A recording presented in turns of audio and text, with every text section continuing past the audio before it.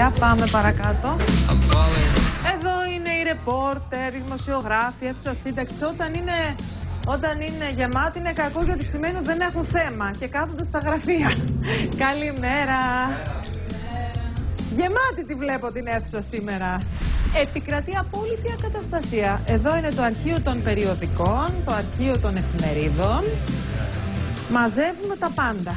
Ό,τι και να γίνει θα το βρούμε στο αρχείο μας. Εδώ είναι τα κορίτσια του κοινού. Τα κορίτσια που φέρνουν το κοινό στην εκπομπή. Καλημέρα, τι κάνετε; Τι γίνεται με το κοινό; Όλα καλά. Όλα καλά. Όλα καλά. Εδώ είναι το πιο χαρούμενο γραφείο, παιδιά. Έτσι. η, ιδέα, η ιδέα αρετή είναι όλη την ώρα δίπλα στο κοινό και τους βοηθάει, τους κάνει να γελάνε, να περνάνε καλά. Ναι, Ε, προσπαθώ. Τι να κάνω. Τους προσέχει. Αν έχω εσένα απέναντί μου να βλέπω αυτή την ομορφιά, τι θα κάνω, να τους κάνω να περνάνε καλά. Το καταλαβαίνει τώρα. Είναι όλοι φίλοι μου εδώ. Ποιος να πει κακή Σωστό. κουβέντα, ποιος να πει. Κανένας, ούτε απ' έξω. Είναι Κανένας. αλήθεια. Και να πούμε και κάτι άλλο. Ναι. Ότι παρά την οικονομική κρίση, όλη η ομάδα σου είναι εδώ φέτος.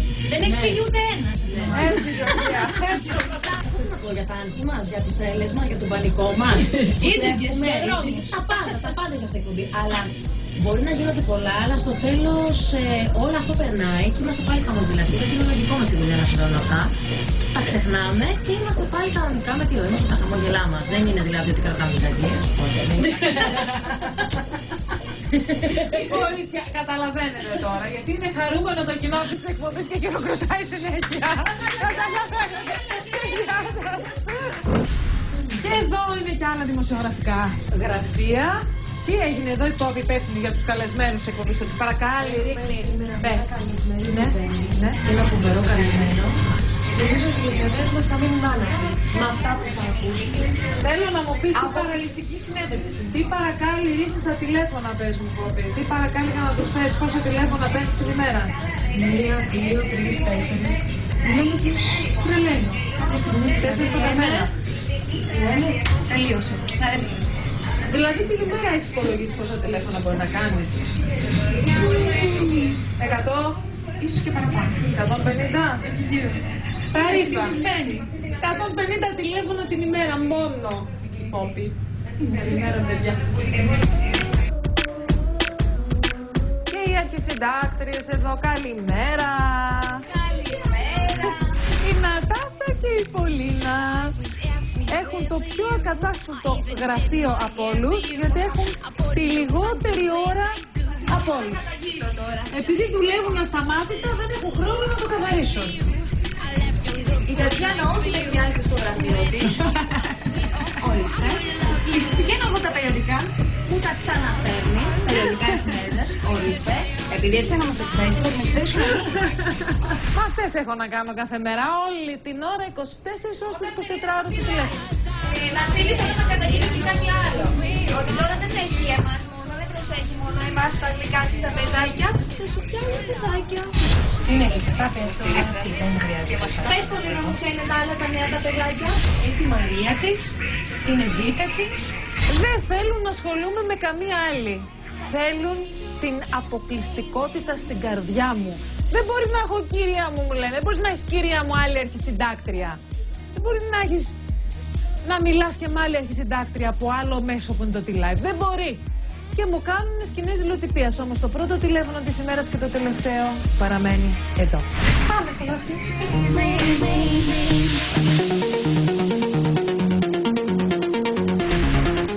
Και εδώ είναι το γραφείο μου, το οποίο εγώ τακτοποιώ. Καθαρίζω, διακοσμώ, γιατί εμένα μου αρέσει ο χώρος μου να είναι πολύ πεποιημένος, γι' αυτό φωνάζω πολύ και τους χώρους των αλωνών. Τους έφτιαξα τους χώρους, έφτιαξα τα γραφεία, έφερα μέχρι και κάδρα από το σπίτι μου και να πώς τα κάνανε. Ενώ εγώ, κοιτάξτε, δεν το έχω το γραφείο μου. Έρχομαι καθημερινά, ό,τι υπάρχει δεν αφήνω τίποτα, ούτε παλιά χαρτιά, τίποτα. Λοιπόν, έτσι ξεκινάει η μέρα μου, εδώ. Στο γραφείο μου το πρώτο πράγμα που κάνω είναι να ενημερώνω για τα νέα της ημέρας. Δηλαδή, μπαίνω στον υπολογιστή μου και ξεκινώ κυρίως από το ίντερνετ, από τα sites. Γιατί πια τα sites είναι αυτά που έχουν πρώτα τις ειδήσεις. Πριν και από τη τηλεόραση, πριν από τις εφημερίδες.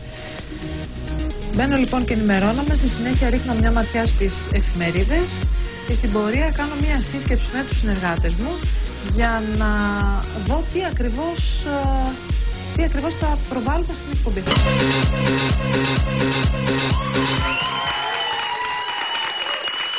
Αυτά είπαν λοιπόν οι αγαπημένοι μου συνεργάτες. Αυτά κάνω το πρωί όταν φτάνω στο γραφείο και μετά αρχίζει το χτίσιμο όπως είδατε, δεν προλάβετε να το δείτε. Πυλοφόροι και μυστροί, μακιγιές, κομμωτές, εδώ ρούχα, στυλίστες, καταλαβαίνετε. Α, η- αρχίζει η μεταμόρφωση της Τατιάνας που είδατε να φτάνει στο στούντιο, η οποία μεταμορφώνεται σε Τατιάνα του αξίζει. Να το δεις.